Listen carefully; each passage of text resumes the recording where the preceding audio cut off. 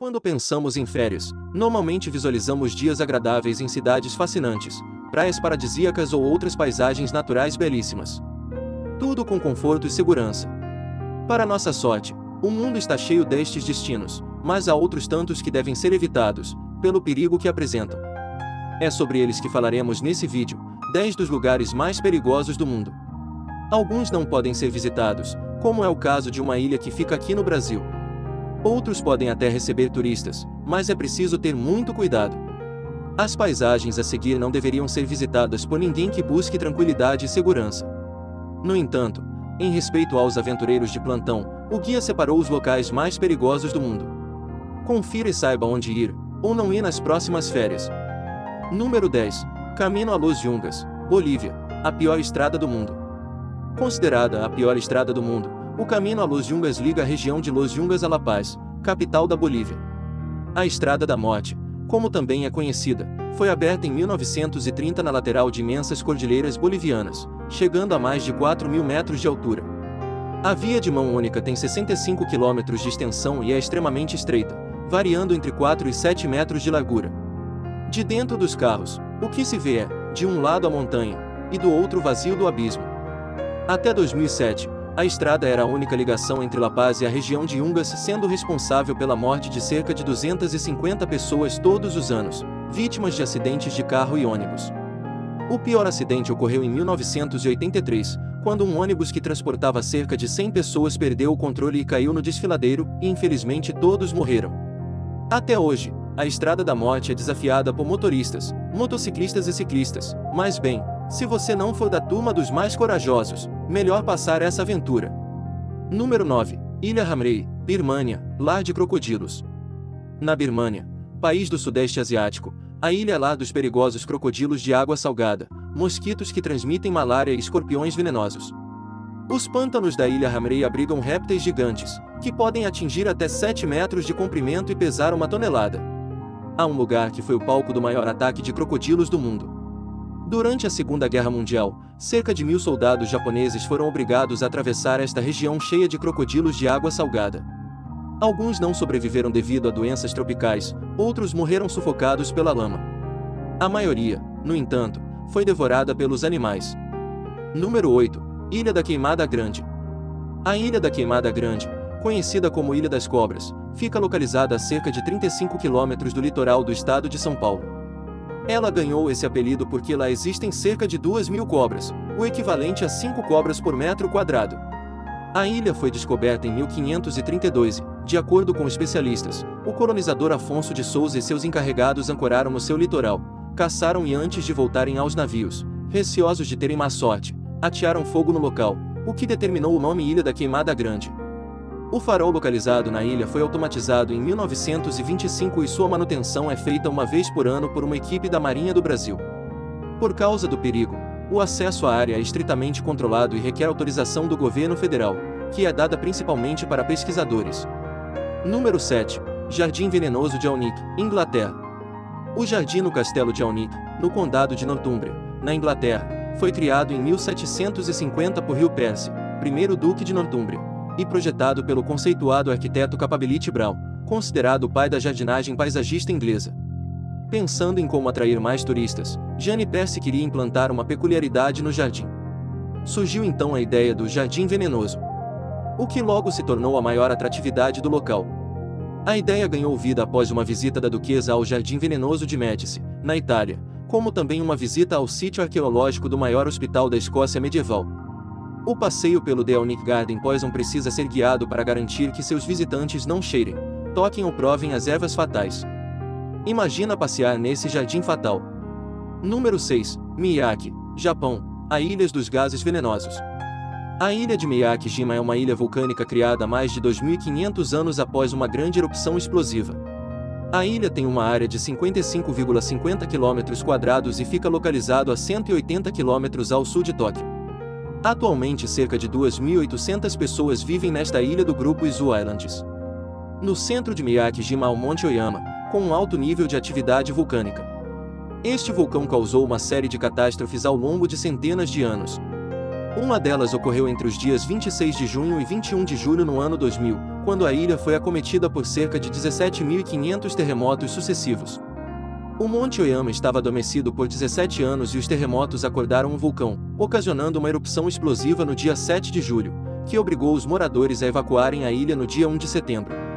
Os moradores só estariam autorizados a regressar cinco anos depois, em 1 de fevereiro de 2005. Número 5. Caverna dos Cristais, México. A mina de Naica no México é conhecida pelos seus cristais extraordinários. Em grutas gigantes os exploradores encontraram cristais de selenite com 1 metro de diâmetro e 15 metros de comprimento. Conhecida como a Gruta dos Cristais Gigantes, encontra-se a 305 metros de profundidade. Os cristais são resultado da emanação hidrotérmica das camadas magmáticas inferiores. O que tem de tão perigoso? A temperatura na caverna dos cristais chega aos 50 graus Celsius e a umidade do ar é de 100%, nível que faz com que os fluidos se condensem nos pulmões, fazendo com que alguns exploradores desmaiem caso não estejam usando equipamentos apropriados. E bem, não é lá uma boa ideia desmaiar em uma caverna a 300 metros abaixo do nível do solo. Número 4. Monte Hua, China. Localizado a cerca de uma hora de Xia, uma das mais turísticas cidades da China, o Monte Hua é considerado um dos lugares mais perigosos do mundo para ser escalado.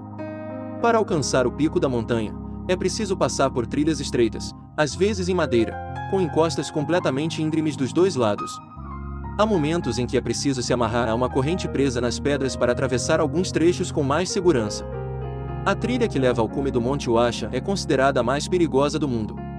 O monte é uma das cinco montanhas sagradas da China, com uma média de cerca de 2.100 metros de altura. A rota mais popular, também a original, tem 6 quilômetros, a partir da aldeia de Huashan até ao cume do Pico Norte. Para os menos aventureiros, pode-se pegar o teleférico. As pessoas que aceitam o desafio da montanha são geralmente jovens aventureiros. Embora muitos falam de cerca de 100 acidentes mortais na trilha Huashan cada ano, graças à censura chinesa não existem registros oficiais de nenhum desses incidentes. Número 3. Bolton Street, Inglaterra, o Riacho Assassino. Num trecho do rio Wharfe, Localizado entre a Baden Tower e a Abadia de Bolton na região de Yorkshire no norte da Inglaterra, fica o local mais perigoso do mundo. Conhecido como Bolton Street, o trecho de água tem uma taxa de mortalidade de 100%, ou seja, toda pessoa que cair ali terá morte certa. Embora não haja um registro oficial das mortes ocorridas no Street, sabe-se pelas referências literárias que não apenas pessoas de Yorkshire mas de toda a Inglaterra já foram vítimas da armadilha aparentemente calma. Hoje existem nas margens placas com os dizeres: o Street é perigoso e reivindicou vidas no passado. Por favor, afaste-se. E cuidado com as pedras escorregadias. O rio Vaf, derivado da palavra Veof, o rio sinuoso, tem cerca de 105 km de extensão, desde as suas nascentes em Greenfield Beck e Ogasham. É raso e largo com uma distância média entre as margens de 9 metros. Porém, ao chegar no Street, essa distância entre margens cai para cerca de apenas um metro. Esse estreitamento das margens cria uma espécie de gargalo que aumenta a pressão da correnteza fazendo com que a água corroa a parte inferior das rochas, criando um abismo profundo do qual não se sabe ao certo a extensão. Especula-se também que a água tenha esculpido um labirinto subterrâneo sob as pedras. Número 2. Zona de exclusão de Chernobyl. O próximo da lista, mas não menos perigoso, é Chernobyl, na Ucrânia. O acidente de Chernobyl, que aconteceu em 26 de abril de 1986, foi o maior acidente nuclear da história. Essa tragédia ocorreu na usina Veilene, localizada na cidade de Pripyat, a cerca de 20 quilômetros da cidade de Chernobyl, na extinta União Soviética, atual território ucraniano. Matou milhares de pessoas e contribuiu para apressar o fim da União Soviética. Após o acidente nuclear ocorrido há mais de três décadas, uma zona de exclusão de 30 quilômetros foi montada ao redor da usina e da cidade de Pripyat. A região ainda hoje está contaminada por radiação e, para visitá-la, os turistas devem estar cobertos da cabeça aos pés, não podem comer ou beber ao ar livre e devem sempre seguir as trilhas oficiais. Número 1 Porta do Inferno, Turcomenistão.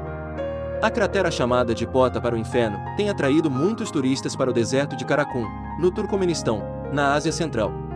Com 70 metros de diâmetro, o buraco fica na vila de Derveze, a leste do Mar Cáspio e 260 quilômetros ao norte da capital Aquirrabat. A área tem uma quantidade significativa de petróleo e gás natural.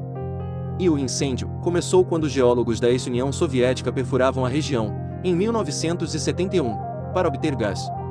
O chão sob a plataforma cedeu e abriu o buraco.